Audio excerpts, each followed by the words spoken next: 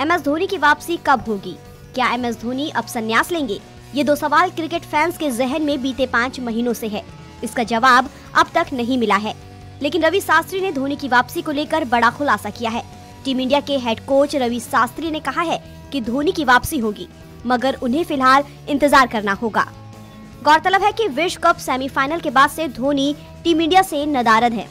New Zealand के खिलाफ semifinal match में आखिरी बार धोनी भारत की नीली जर्सी में दिखे थे। इसके बाद विंडीज दौरे से उन्होंने खुद को अलग कर लिया। फिर साउथ अफ्रीका और बांग्लादेश के खिलाफ लिमिटेड ओवर सीरीज़ में भी धोनी नहीं दिखे। कुछ दिन पहले जब विंडीज के खिलाफ होने वाली टी और वनडे सीरीज़ को लेकर टीम इंडिया का ऐलान हुआ तो वहाँ से भी धोनी का नाम गायब था। खैर, धोनी की वापसी पर रवि शास्त्री ने चुप्पी तोड़ी है।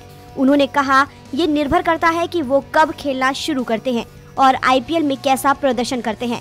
वहीं दूसरे खिलाड़ी विकेट कीपिंग में क्या कर रहे हैं और धोनी के मुकाबले उनका प्रदर्शन कैसा है, आईपीएल बड़ा टूर्नामेंट होगा। शास्त्री ने आगे कहा कि मैं कह सकता हूँ कि आईपीएल के बाद आपकी टीम लगभग तय हो जाएगी।